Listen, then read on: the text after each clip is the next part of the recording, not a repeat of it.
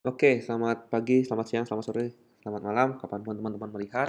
Kita akan lanjut ke video yang kelima atau langkah yang keempat tentang QRS axis. Nah, di sini kita akan pelajari bagaimana caranya menilai QRS axis. Oke, kita mulai ya. QRS axis itu adalah suatu arah ya, kurang lebih uh, arah vektor jantung ke kiri bawah. Nah, ini yang akan kita lihat, kita nilai. Karena kalau ada kelainan bentuk jantung misalnya, maka arah vektornya juga ikut berubah misalnya jantung kirinya yang lebih besar, maka ikut juga arahnya itu otomatis ke lebih kiri. Nah, misalnya jantung kanannya yang bengkak, maka arahnya ini akan ikut ke ke kanan. Maka akses ini penting untuk menginterpretasikan lebih lanjut. Oke, yang pertama, karena ini bentuknya adalah tiga dimensi, maka kita akan menilainya dengan dua buah potongan, menjadi dua buah e, bidang dua dimensi ya, untuk melihat e, tiga dimensi. Yang pertama adalah potongan koronal tubuh dibagi menjadi depan dan belakang. Oke ya. Yang kedua adalah potongan aksial. Tubuh dibagi menjadi atas dan dan bawah. Nah, untuk potongan koronal ini akan kita akan nilai melalui ekstremitas uh, lead ya, yang AVR, AVL, AVF itu kita akan melihatnya itu untuk melihat potongan koronal. Sementara prekordial lead kita akan melihat aksis untuk potongan aksial. Oke ya. Jadi kita akan lihat melalui potongan koronal, kita akan melihat melalui potongan aksial. Potongan koronal melalui apa? Melalui precordial leads. Potongan aks eh melalui ekstremitas lead. Kalau potongan aksial melalui melalui precordial leads. Nah, yang pertama untuk potongan koronal itu kita akan biasanya right arm, left arm, left leg, right leg ya. Biasanya ada yang uh, di, kalau kalau 12 lead di tangan kanan, tangan kiri, kaki kanan, kaki kiri itu sebenarnya sama aja kalau dibawa ke atas ya. Atau kalau pakai monitor di sini itu sama aja. Nah, dari sini yang berfungsi sebenarnya hanya tiga. Katup yang kanan atas, right arm, kedua yang left arm, ketiga yang lower uh, left leg. Ya, yang ini sebenarnya tidak berfungsi. Dari tiga ini kita akan melihat ini, ya. ya dari sini right arm ke left arm itu namanya arahnya dilihat melalui uh, lead 1 ya. Lead 2 itu dari sini ke sini. Oke. Lead 3 dari left arm ke uh, kaki ya. Kita ulang. Ini kan biasanya kita nempel ada empat ya. Nah, empat ini sebenarnya yang ini tidak berfungsi. Yang berfungsi hanya tiga. Right arm, left arm, dan lower uh, left leg. Dari sini, right arm ke LA menghasilkan lead 1. Right arm ke lower leg, uh, left, left leg menghasilkan lead 2. Left arm ke, ke kaki itu menghasilkan lead 3. Nah, selanjutnya AVR AVR dihasilkan melalui tengah menuju right arm. Ini namanya augmented vector R. Dari tengah arahnya ke right arm. AVL left, AVL maka dari tengah ke ke kiri atas. AVF dari tengah ke lower leg ke ke bawah. Nah, ketika semuanya dijadikan satu titik, maka nah ini ya. Lead 1, lead 2, lead 3, AVF, AVL, AV, AVR. Ketika semuanya dijadikan sentral satu titik, maka kita akan mendapatkan diagram seperti ini.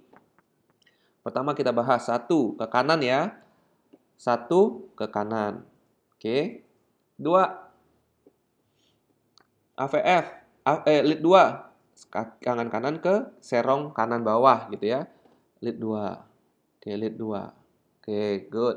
Tiga ke kiri bawah ini, serong kiri bawah, serong kanan bawah, sorry, itu adalah lead 3. Lead 3. Ketika semua dijadikan satu titik ya.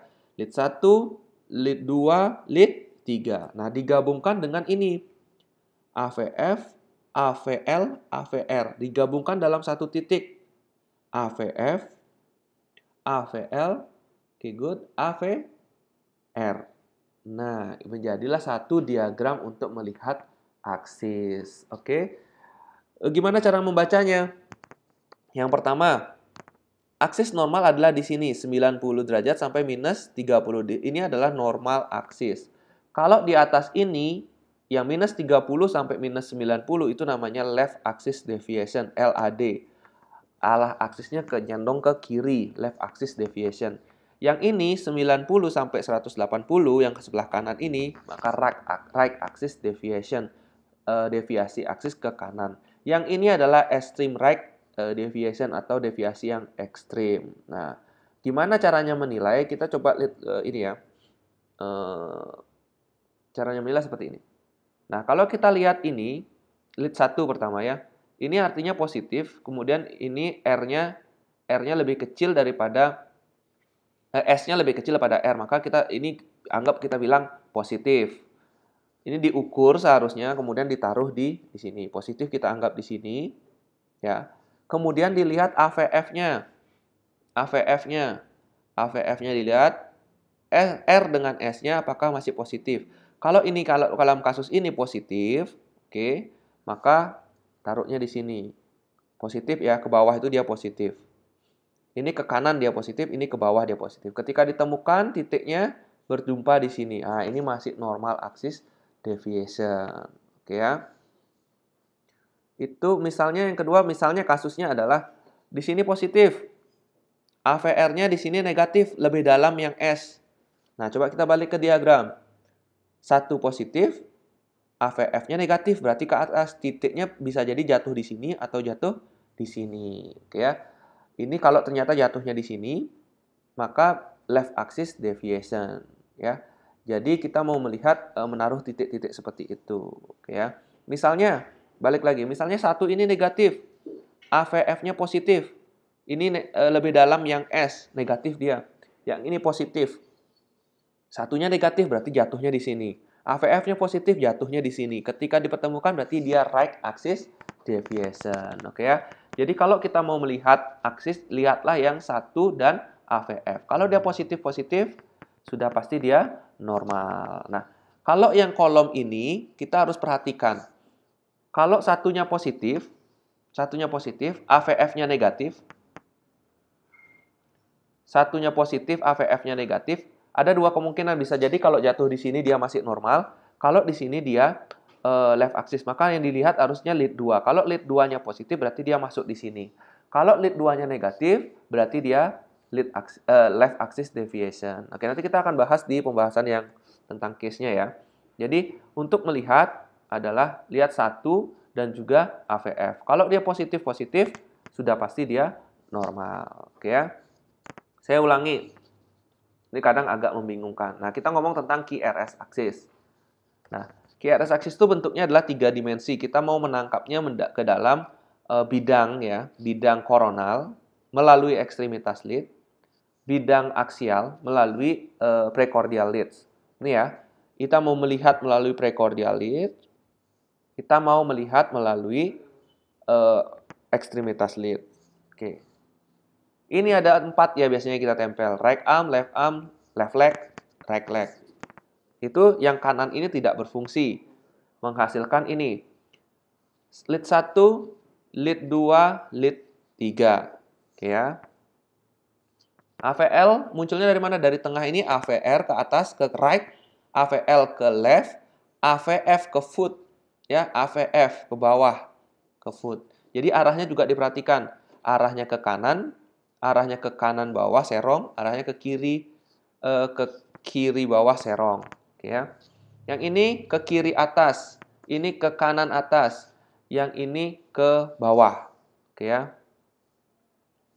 Oke, satu, dua, eh, ini tiga, AVF, AVL, AVR. Ketika semua dikumpulkan dari satu titik tengah menjadi ini. Satu ke kanan ya, kedua, ketiga, AVR, AVL, AVF. Jika semua digabungkan titik tengah. Yang normal aksisnya di sini. Ini left axis deviation.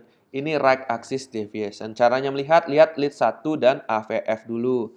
Kalau satunya positif, akan jatuh sekitar di sini. Kalau AVF-nya positif, jatuhnya di sekitar sini. Ketika dipertemukan, berarti dia normal axis deviation. Kalau lead 1 positif, Sini ya, yang left, left satunya positif. AVF-nya negatif, dia akan jatuh di sekitar sini. Dilihat lead 2-nya. Kalau lead 2-nya negatif, berarti dia aksesnya ke kiri. Yang ini, lead satunya negatif, berarti jatuhnya di sini ya. AVF-nya positif, jatuhnya ke bawah. Ketika dipertemukan, dia akan menjadi right axis deviation. Kalau lead satunya negatif, AVF-nya negatif, berarti dia extreme right axis deviation. Oke ya. Jadi kalau mau lihat cepat, lihat di sini satunya positif, AVF-nya positif, berarti aksisnya normal. Oke, ini contoh yang tadi, satunya positif, eh, AVF-nya positif, berarti aksisnya normal. Oke, lanjut. Ini potongan aksial, eh, kita melihat dari bawah. Bayang ya, kita seolah-olah motong badan dari atas sampai bawah, kemudian kita lihat dari bawah. Kita akan lihat V1 sampai V6, seperti sesuai penampakannya ya. Nah, yang normal itu adalah transition kompleksnya di antara V3 dan V4. Maksudnya apa transition kompleks? Ini, kalau kita di V1 kan pasti ya, S-nya lebih besar daripada R. Terus berkebalikan, R-nya makin tinggi, S-nya makin turun.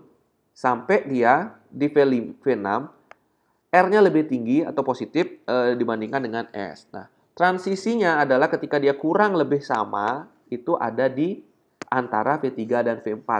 Ini bayangkan, ini R-nya lebih pendek sedikit daripada e, S, kemudian di sini sudah R-nya yang lebih tinggi daripada S. Berarti transisi kompleksnya ada di V3 dan V4. Oke. Nah, di, kalau transisi kompleksnya di berpindah ke sini, ke kanan, bukan di V3, V4, tapi antara V4, V5, dan lain-lain, dan ke kanan, maka disebutnya uh, clockwise rotation, searah jarum jam. Kalau transisinya ke, arah V1, V2, V3, maka dibilang counter, counter clockwise rotation, atau berlawanan dengan arah jarum jam. Ini hanya untuk melihat uh, arah uh, aksis devia, deviasi uh, sesuai dengan clockwise deviation ke kanan dari bawah melihatnya ya atau counterclockwise uh, deviation karena yang normal adalah transisinya antara V3 dan V4. Oke, sekian aja nanti kita akan gabungkan dalam pembacaan EKG. Terima kasih.